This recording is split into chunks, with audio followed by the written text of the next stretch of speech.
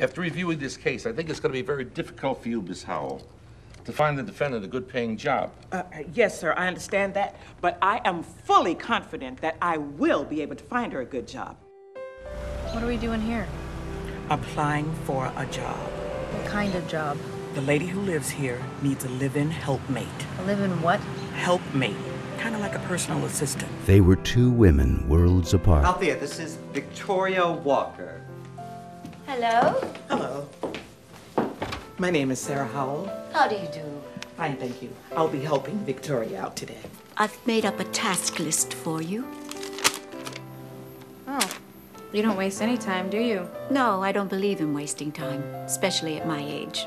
Don't tell me she's the one you hired. Uh, yes, yes, she is. Now, now, I'm so sorry about that misunderstanding you That had. was no misunderstanding. They didn't see eye to eye. What the hell's going on?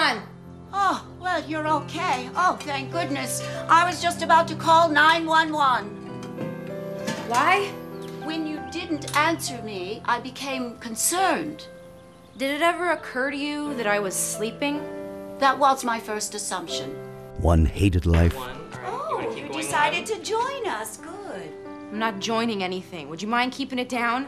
You sound like a bunch of little schoolgirls. one embrace life. Now, this time, let's all try to remember to start on the beat. Ready? On my count one, two, and three.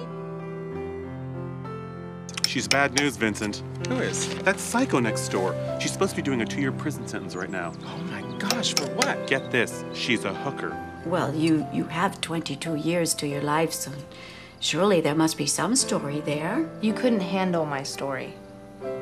Try me. Oh, come on, Althea. Now, do you expect us to believe that you just fell? It was an accident. She had nothing to do with it. Now, we have got to find her. She's drunk, she's driving, and we've got to find her. Uh, Althea, I mean, where would we look? Hiding Victoria Productions brings you a story about unconditional love, about finding family where you would least expect it, and that a key to life lies within.